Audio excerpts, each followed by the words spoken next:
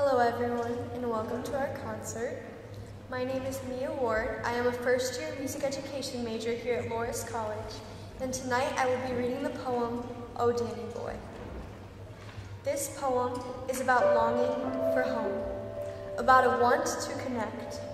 It is originally from Irish descent and about the longing for past culture and homelands, about a feeling of almost displacement while having to simultaneously move on. I live an hour and 45 minutes away from my home where I grew up all my life and made all my memories.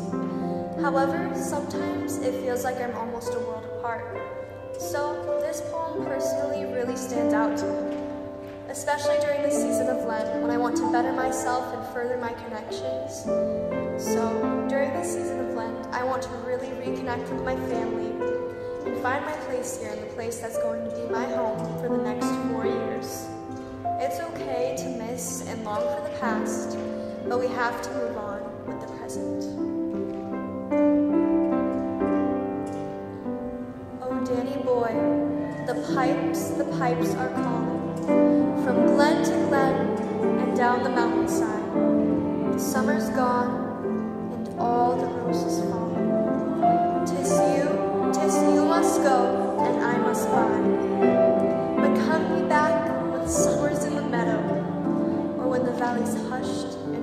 With snow. Tis all be here in sunshine or in shadow.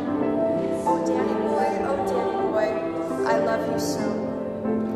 But when ye come, and all the flowers are dying, if I am dead, as dead I well may be, you'll come and find the place where I am lying, and kneel and say an Ave there for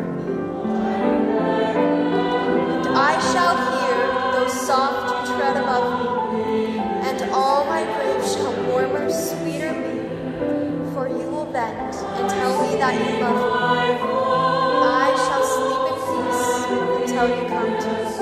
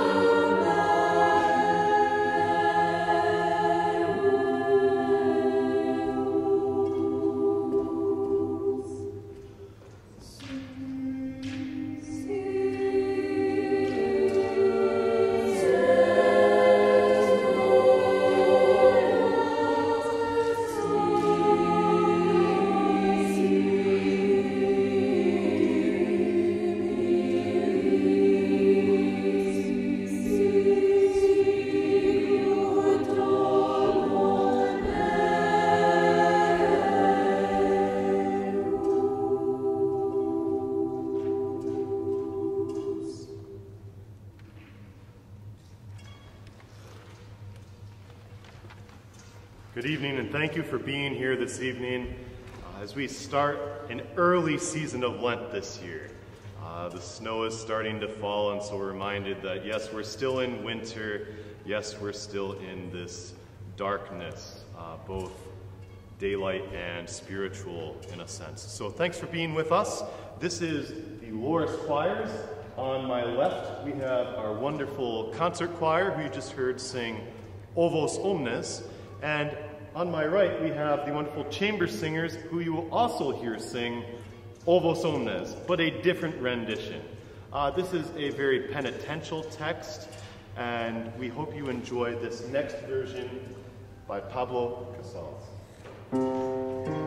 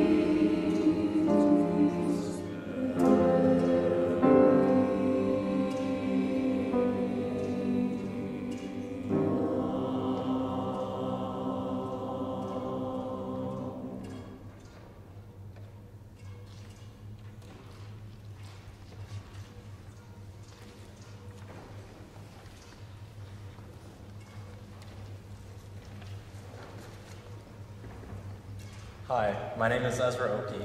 I'm a senior here at Loras College. I wanted to read you a poem that I wrote titled Trust in Him. I wrote this poem during my first year of college. So many new and different things were happening all around me, especially with COVID still being very present. I just wanted something or someone that I could rely on to help me get through that year. I really came to understand more deeply how important my faith was to me and how it had shaped my life so far. The best decisions I have made in life were always the ones that I took before God.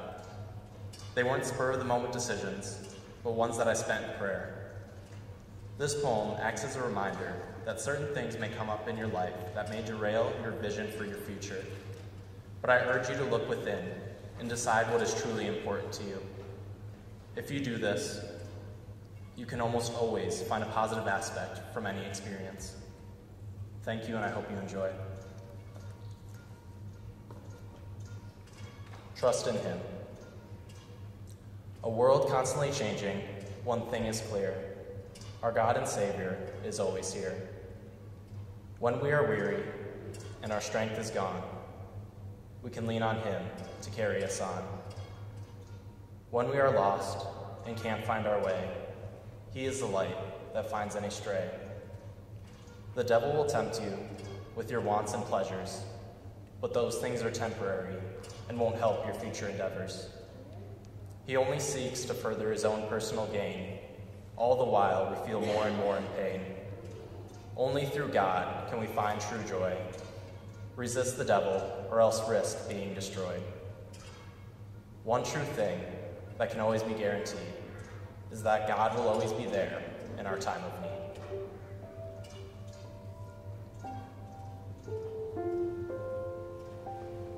Thank you. Thank you.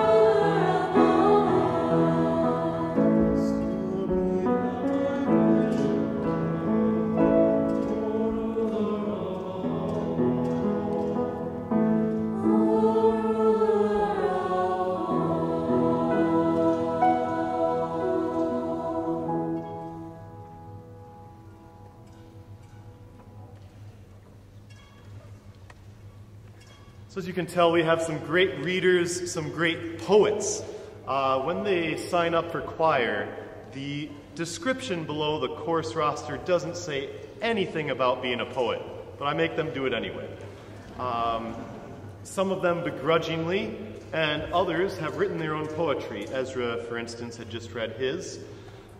Tonight is all about stillness, it's all about peace. These are things that in today's society are hard to come by.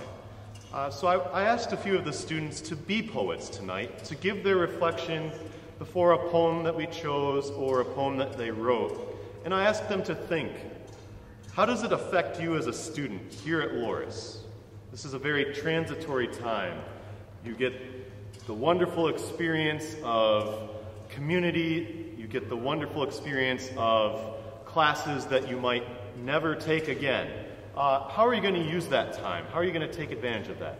I also asked them to reflect in terms of Lent. How are you going to let this Lent change your life? Yeah?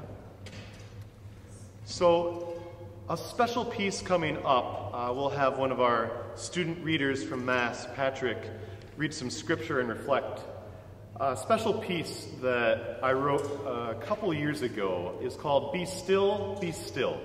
And for those of you that know Debbie Gross, uh, she was a wonderful uh, part of our spiritual life team here at Loras College.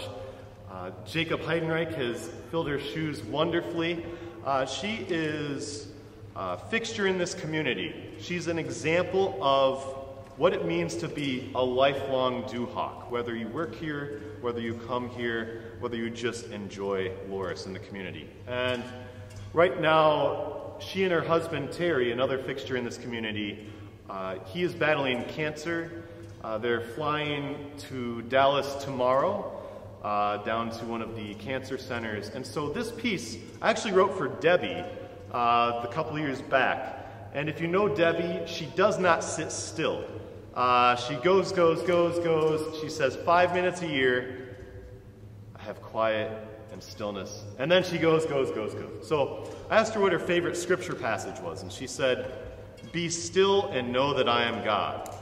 I was like, Debbie, are we, are we talking about, you know, actually being still? She's like, Yeah, it's a, it's a good reminder for me to be still, be in prayer, and to trust in God.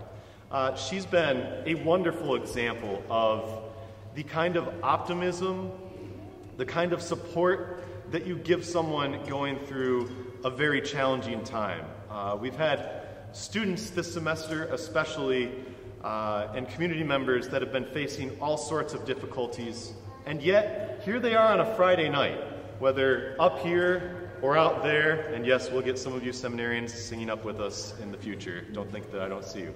Uh, there are just such great tributes to what it means to be a Christian, what it means to persevere, what it means to find stillness and to find peace in the discomfort. So we hope you continue to enjoy.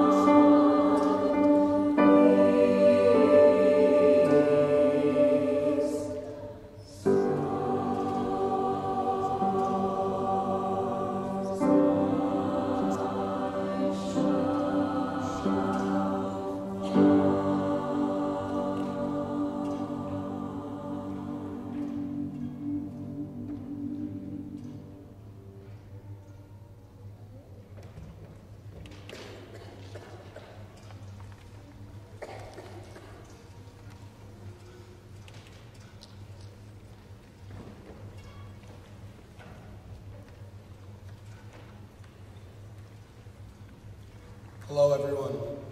My name is Patrick Julian, and I'm a senior here at Loras. The title of the scripture passage I'm going to read is The Calming of a Storm at Sea. A few things stuck out to me as I was praying with this passage, especially as we entered this Lenten season. The first is the mention of the disciples and Jesus leaving the crowd to cross the sea. This made me think of how crowded my own life is right now with my schoolwork, my social life, and my work life.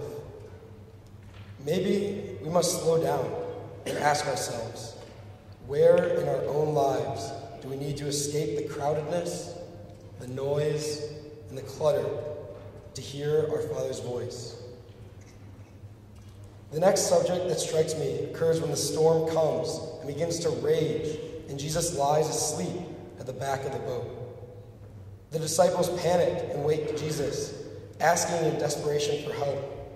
He awakes and speaks two monumental words Be still. Be still. Was Jesus just saying, Be still to the sea?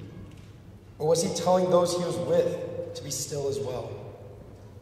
In analyzing these words further, I discovered the phrase comes from the Hebrew word rapha, which means to let go or to release. Can there be a more fitting phrase for this Lenten season? What is God calling you to let go of? Is He asking you to surrender something to Him? For myself, I have removed social media from my life, something that has taken control of the majority of my time. While it is difficult to change this habit, God is not calling us to the easy. He is calling us to the desert to continue to trust and surrender our lives to Him daily. Let us remember this during the remainder of these 40 days. And without further ado, a reading from the Holy Gospel according to Mark. On that day, as evening drew, he said to them, Let us cross to the other side. Leaving the crowd, they took him with them in the boat just as he was, and other boats were with him. A violent squall came up, and waves were breaking over the boat so that it was already filling up. Jesus was in the stern, asleep on a cushion. They woke him and said to him, Teacher, do you not care that we are perishing? He woke up, rebuked the wind, and said to the sea, Quiet, be still. The wind ceased, and there was great calm. Then he asked them, Why are you terrified? Do you not yet have faith? They were filled with a great awe and said to one another, Who then is this, whom even wind and sea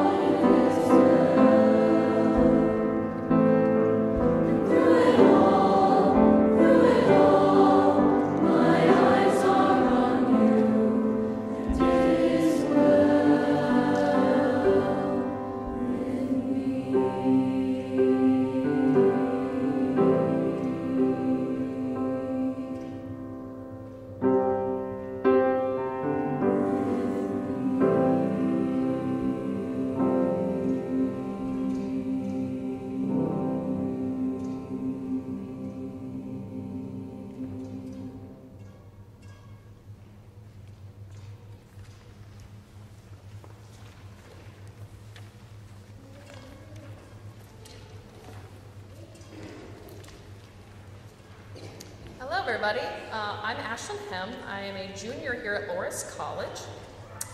And Dr. Bagby's asked me to speak about what stillness uh, means in my life. So, as a student, athlete, musician, I'm kind of on the move all the time, and sometimes feel like I'm sprinting around campus a lot. Um, so, uh, when Dr. Bagby asked me to read this poem, I had to sit and think about ways that I find stillness in my life and where I find peace in between all of the chaos. Uh, so, upon reflection, I realized that I really enjoy the times with my roommate Whitney when we are eating breakfast and dinner before and after the chaos of our days. Um, I lose track of time when I am on the phone with my parents and when I get to speak with them uh, between all my craziness.